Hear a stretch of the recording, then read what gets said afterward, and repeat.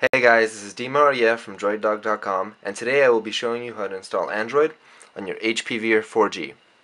The first thing you must understand is that this is a dangerous procedure. You may brick your phone and you will void your warranty, so do this at your own risk. Read first, watch the video carefully, and make sure you know how to do all of this because if you don't, there's a much higher risk of you breaking it. But otherwise, have fun because this is a great opportunity. First of all, you have to install Novacom drivers. These are the drivers that communicate with your phone. I have provided a link inside the article to the Novacom drivers for both Windows 32-bit and 64-bit. As you can see, I already downloaded them and unzipped the installer. So let's go ahead and install the Novacom drivers.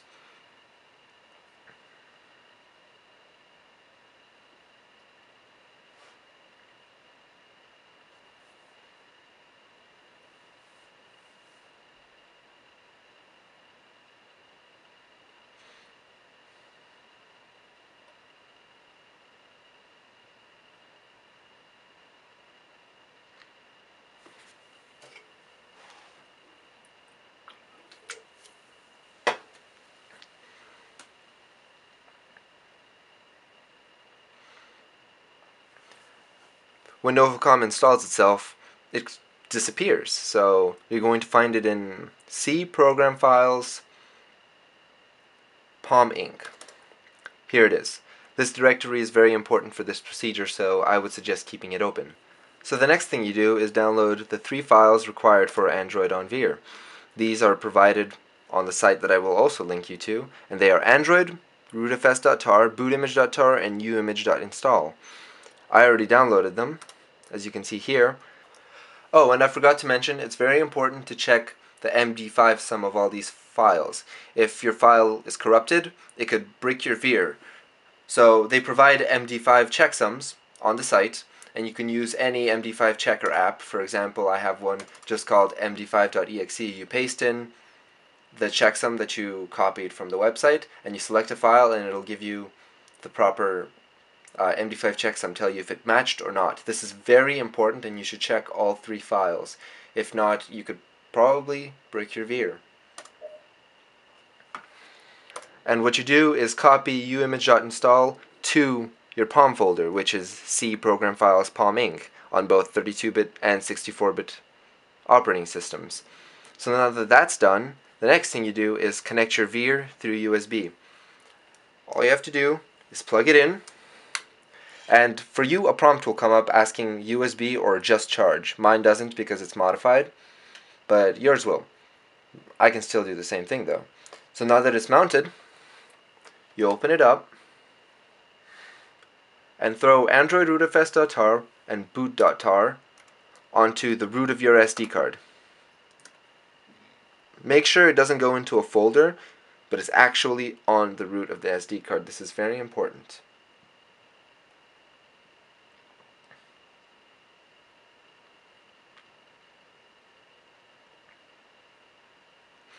Now that that's done, you can disconnect your phone and wait for it to stop showing this screen. Now that it's done, all you have to do is hold the power button and shut it down.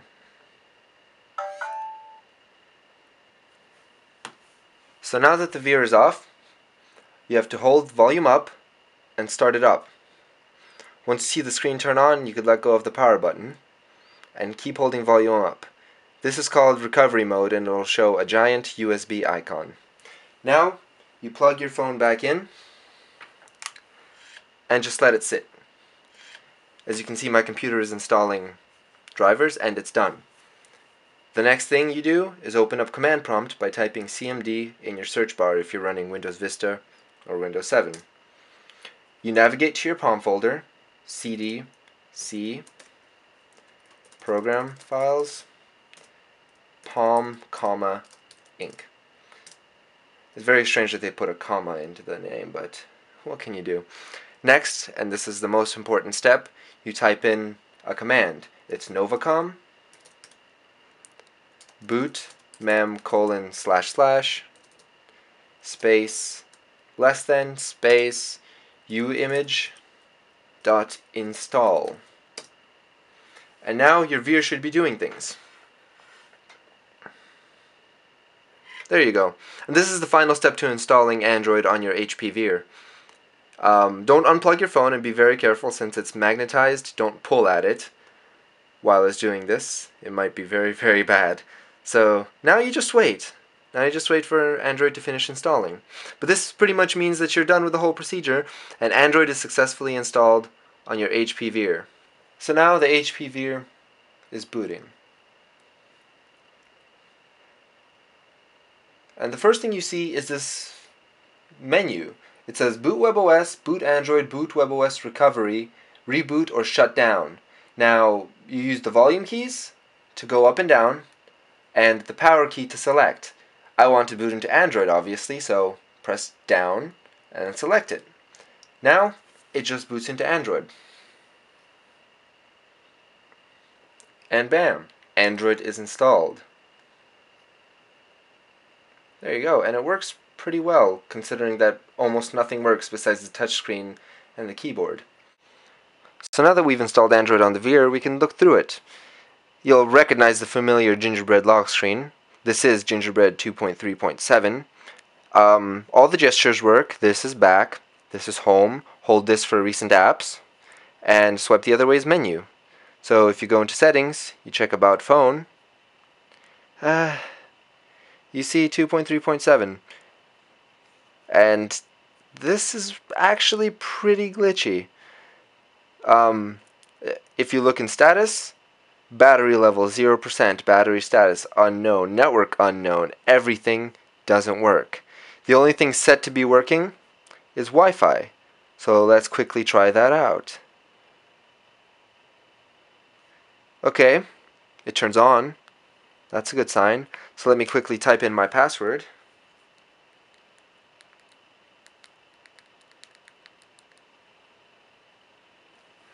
There you go.